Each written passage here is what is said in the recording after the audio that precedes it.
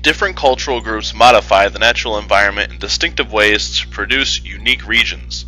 The geographic study of the human environmental relationship is known as cultural ecology. In the early days of cultural ecology, 18th century German geographers adopted the scientific study of social and natural processes. This study concentrated on the physical environment and how it caused social development. This approach was called environmental determinism. Modern geographers reject environmental determinism in favor of possibilism. According to possibilism, the physical environment may limit some human actions, but people have the ability to adjust their environment. Human geographers need some familiarity with the global environmental processes to understand the distribution of human activities, such as where people live and how they earn a living. Important physical processes including climate, vegetation, soil, and landforms. The map that you're looking at right now is the Köppen system. It has five major climatic regions and several subtypes.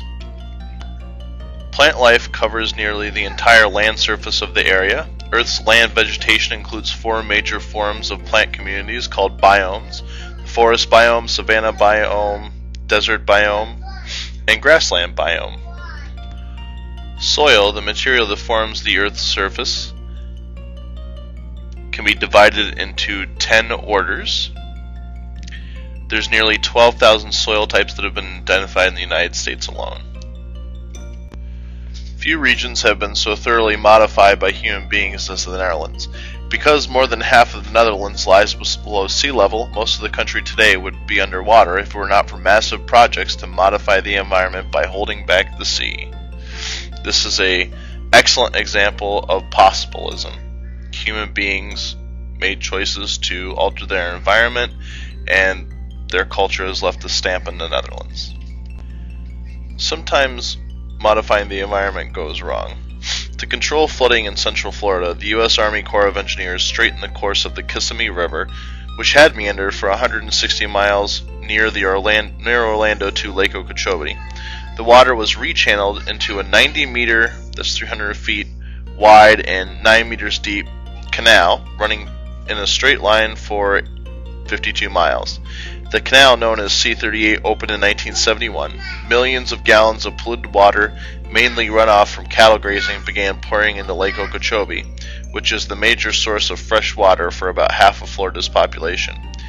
Now the state wants the U.S. Army Corps of Engineers to return the river to, from the canal back to its original course. Diffusion is the process by which a characteristic spreads across space from one place to another over time.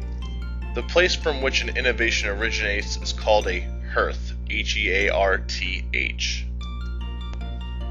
The spread of an idea through physical movement of people from one place to another is termed relocation diffusion.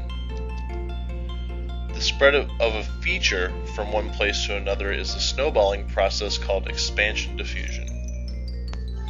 One type of expansion diffusion is hierarchical diffusion. Hierarchical diffusion is the spread of an idea from persons or nodes of authority or power to other persons or places.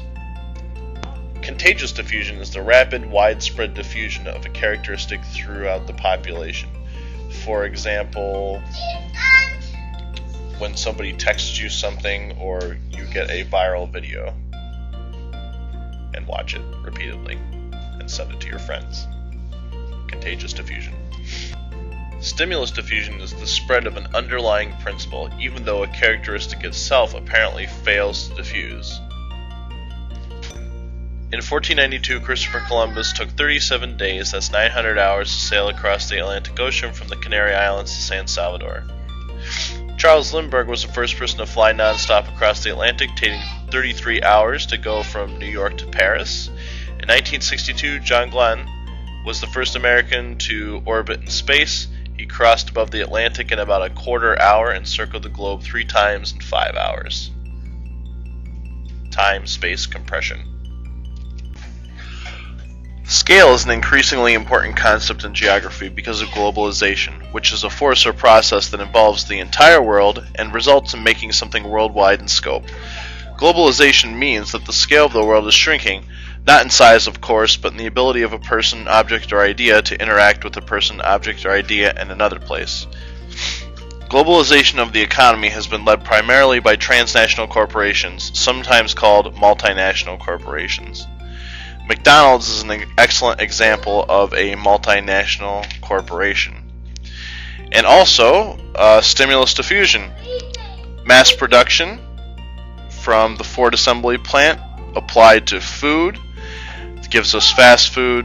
There's many fast food restaurants in the United States, and McDonald's has a global reach. And one point their motto was one taste worldwide.